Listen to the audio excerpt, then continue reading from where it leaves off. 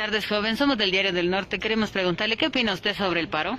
Bueno, señorita, a mí no me interesa el paro. Yo tengo dos carros. Puede poner a 5 dólares el galón, con tal que no suba la cerveza, no suba la señora de los descebollados y el palito del chongo sea a 10 mismo. No ha pasado nada. Gracias, señorita. Gracias. Y viva el paro.